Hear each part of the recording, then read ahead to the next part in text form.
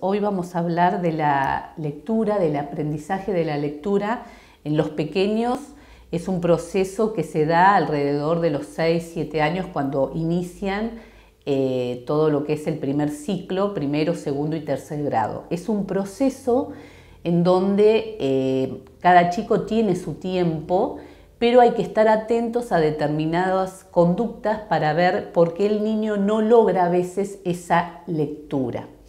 Con el tema de la pandemia nos hemos encontrado que los niños que tienen hoy 7, 8 años no han podido estar en forma presencial en su primer grado, en donde eh, er, arrancan con el tema del sonido de las letras para poder armar las sílabas y de esa manera poder eh, lograr la lectura silábicamente.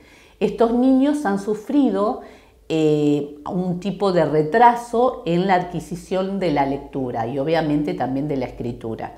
Por eso es importante que los papás estén atentos a si el chico tiene, eh, se dispersa mucho, si se cansa cuando lee, cómo escribe, si omite alguna sílaba o letra, si logra entender el sonido de las letras. Todo eso es tema de consulta y no esperar hasta que el docente o lleguen a cuarto grado y todavía no, no logró una lectura, digamos, eh, más eh, ágil.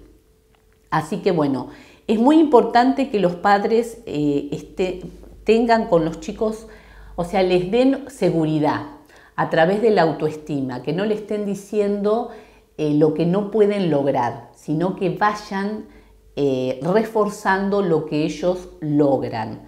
Eh, porque si no, el niño empieza a tener la autoestima baja y se empieza a sentir poco motivado y bueno, y se frustra. Así que los invito a que ante cualquier problema eh, hagan una consulta para ver si hay alguna disfunción o alguna dificultad o algún trastorno del aprendizaje, que no tiene que ver con la inteligencia, sino con alguna disfunción eh, en el neurodesarrollo.